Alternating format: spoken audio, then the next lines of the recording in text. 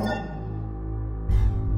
Alright guys, Hutch back again today. Hope you're doing well and enjoying your day so far. Four weeks to the day until Modern Warfare 3 officially launches, but still plenty of teams not announcing their rosters as of yet. Big rumours emerging though over the last couple of days as to what the Vegas Legion might potentially be up to. We've heard the rumours with Clayster potentially to Carolina. What are Vegas doing instead? Why is Zuma particularly confident? What players might he have heard on this roster that's making him confident about this team given the circumstances they're not realistically going to be mixing it up with the big boys? Very much enjoyed to your thoughts in the comments below. Hit the like button if you enjoy. Subscribe if you're new as always. I would greatly appreciate it. Plenty to dive into. First of all, this.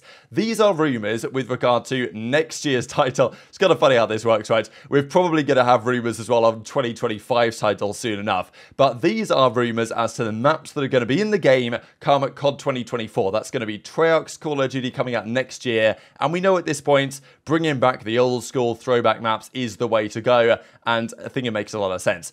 These are two maps that are being linked to next year's Treyarch title. This, if you guys don't remember, is Grinds, an absolutely fantastic map from Black Ops 2, at least for pubs. It wasn't played in competitive. I don't really know if it would have worked in competitive. It probably wouldn't, to be fair, but it was a really fun pub map. The snipers loved it because there were so many sniper spots you could get, like collaterals and everything on this one. It was actually a DLC map, I think, brought into the first DLC. Really good fun. That apparently is coming back in next year's game, as is this map. And if you guys know this one, then you, you're cultured, shall I say, because this is WMD from Black Ops 1.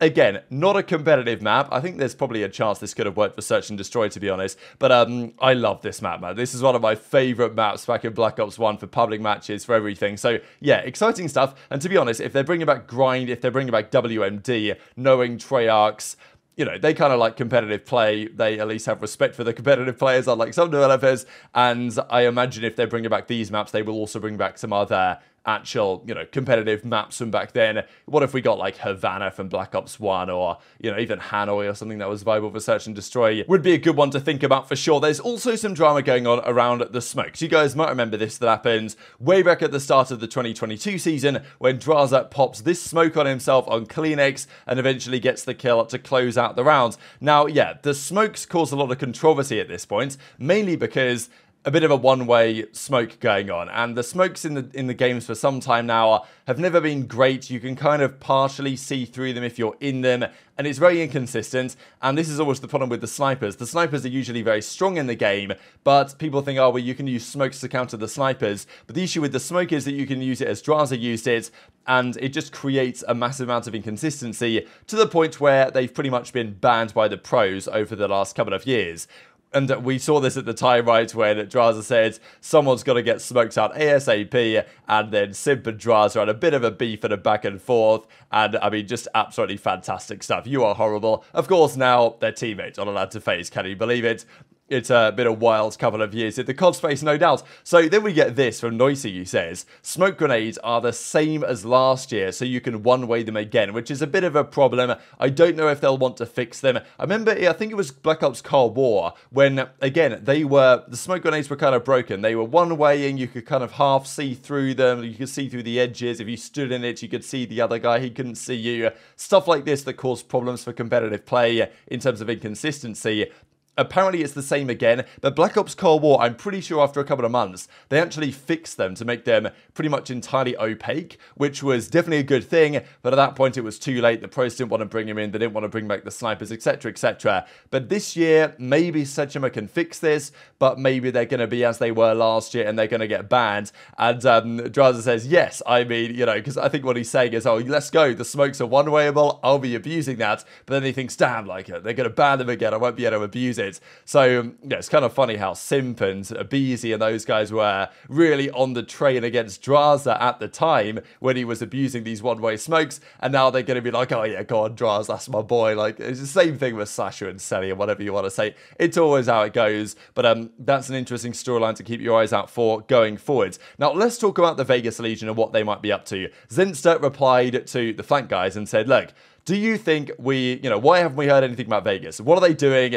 Because Xenster, he has a Vegas Legion jersey. He's actually a legitimate Legion fan, and I respect that a lot because, you know, he's had to suffer through some pain over the last couple of years. But this season, what are they going to do? Last year, Vegas really mixed it up, and I know a lot of that was the Clay effect. They were like the second most popular team for some time, second, third most popular team. Everyone wanted Vegas to succeed. Part of that was Clay, but I think part of it was because they had a pretty likable team in general. People wanted, you know, Standy got dropped. People wanted the redemption arc over there. Of course, people like Donny Temp in general, Clayster, of course. And then Legion as an organization had gone from being, um, you know, the, the, clowns of the league. They rebrand a bit. They, you know, they bring in Clay and they had that nice little underdog story. I don't know whether that will be the same for the Ravens this season if Clay goes there because it should be to some extent. I don't know if they'll quite have the same like aura that Vegas Legion had last season. Does Carolina Royal Ravens hit the same? Probably not. But um, there's still going to be some part of that if Clay goes to Carolina, which I, I'm pretty sure that's going to happen. They've brought in Brian Saint as their coach. We've seen Clay and Standy and Brian Saint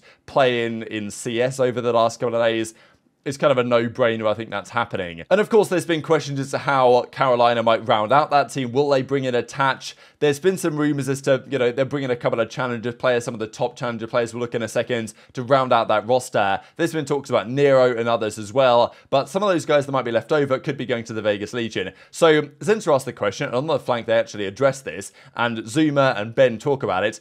Pretty funny, I've got to say, because Ben's initial assessment is this team is special, but not in the good way. Like, you know, they, they ain't good.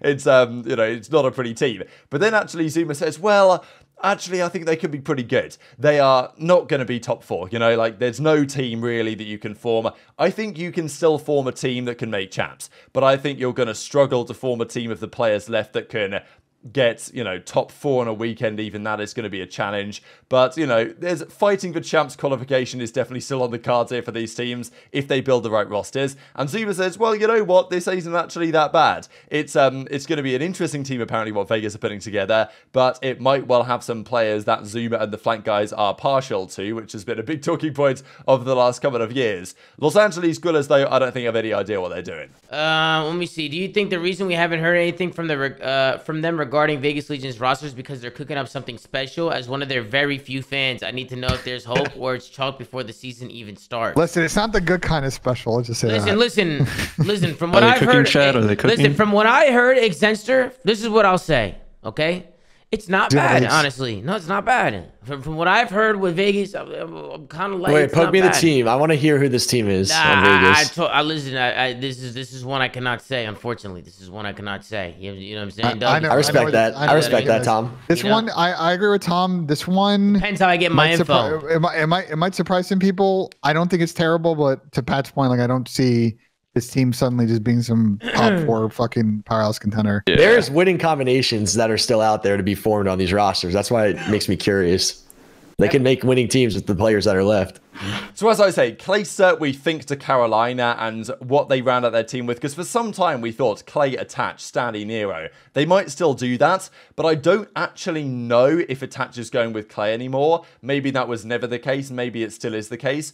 I can definitely see a world in which attach goes to Los Angeles Guerrillas, just because I to be honest, I thought that was gonna happen a while ago anyway. It makes a lot of sense to be honest for attach to go to LA from California, etc. etc. So I don't know, I can kind of see a world in which that happens And Clay has another AR duo on his team. There's the likes of GodRX out there as well that are definitely worthy of note. So yeah, it'll be interesting to see because yeah, if Carolina put together like um something like you know Clay, GodRX, Standy plus one, that's um, you know, that's pretty good on paper. I'm not going to lie. I think Clay can get a lot at GodRX as well. And Clay's also been grinding tournaments. Pretty funny that uh, he played. I think he was not really taking the mic, but someone the other day played a six v six hardpoint tournament or domination tournament. I think it was domination slash hardpoint tournament on Modern Warfare 3 on the beta. Right. What you do is you get a guy, a six group of guys. You go into the lobby and you just wait until you find the guys you want to play against, and then you let the server do the rest for you. I think Clay was in the final, so I'm guessing he lost because I don't think he tweeted about it after the series was over. Yeah, he says final starting now, so I'm guessing it didn't go in his favour. But still, Clay's already getting on here early doors. So what are Vegas going to do with their team? I think that Clay won't be here. I don't know if they... It depends what budget Vegas have again, because last year, definitely Clay and I think Temp were getting paid more than the minimum. I don't think they were getting paid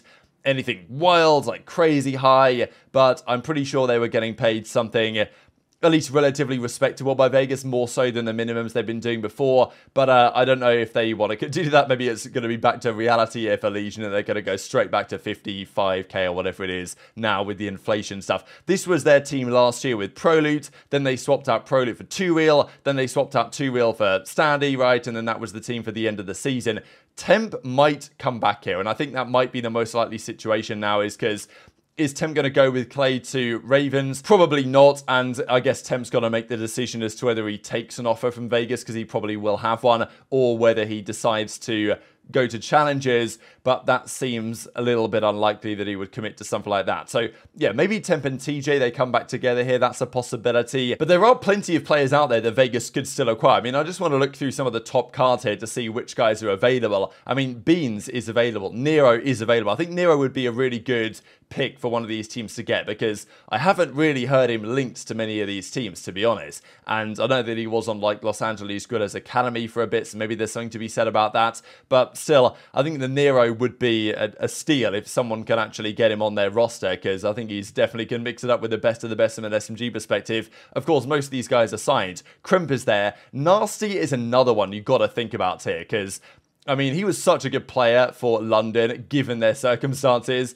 for especially towards the end of the season. He's got to get a spot somewhere, and I'm pretty sure that Ravens are just going to go full American, right, with Carolina, and they're bringing on, maybe not American, but you know what I mean, like North American at the very least. Maybe a Canadian player sneaks in, but I don't think Nasty's going to be there. So, um, you know, Nasty definitely is a CDL caliber player. Like, he's better than a lot of the people that have actually already been signed into the league, as far as I'm concerned. So, I don't know where he's going to go, but not many options remaining. Then you've got Brack, and we'll come back to a Asim. You've got the likes of Fame, who was pretty good this last year. And then as you get further down, there's plenty of other players that you could also give a chance. Asim, though, is the one that I'll be looking at here, just because we know how it goes with Asim and uh, the flank guys. It's always a conversation that, oh, Asim gets you know, gassed up too much by the flank. He gets super overrated. I don't really, I think it kind of falls somewhere in between. A Asim's like, it's a tough player to judge because he is genuinely, typically, very good at the start of games. There's no doubt about it. He is usually one of the top players in the first couple of months of titles.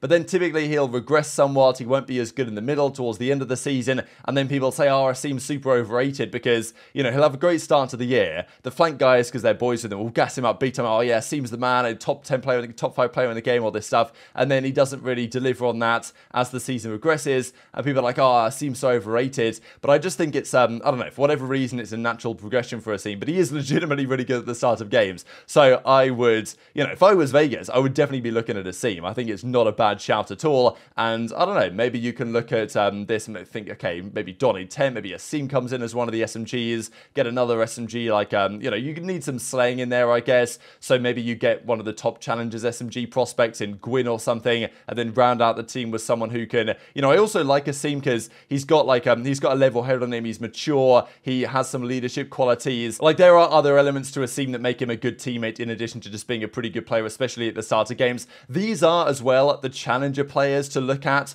Abuser has been signed the other ones we're looking for really okay we know that lindsay's gone we know that snoopy's gone and there's obviously metals and these guys uh, eric boom and co they're going to heretics but the other players i mean neptune i think really he is the king of challengers, right? This guy dominates down there, and I do hope he gets a spot back on a CDL team. Possibly Carolina will look at him. Possibly Vegas should look at him. Then you've got Gwyn, who I think definitely should be looked at after having a good season on Seattle Surge's bench and never getting a chance. So, yeah, would look at a combination of some of those players as to what Vegas are up to. As I say, Guerrillas, I really have no idea, but Attach might make sense if you look at it from that perspective. So, yeah, tweet your thoughts in the comments below. Will Asim be part of that Vegas team? He'd be, you know, doing some franchise hopping, it's got to be said, over the last few years if that was to be the case. But, um, yeah, Criminal Asim had a bit of a fun time playing the beta the other day, so maybe that's going to continue. And just to close out the video then, the, well, Halo World Championship has probably just about got underway. They released the the HCS Unlocked episode with Formal here, which was incredibly well done. And then here today, we have the Halo World Championship beginning. So, yeah, we looked earlier today at the groups, which looked like this. These are the pools.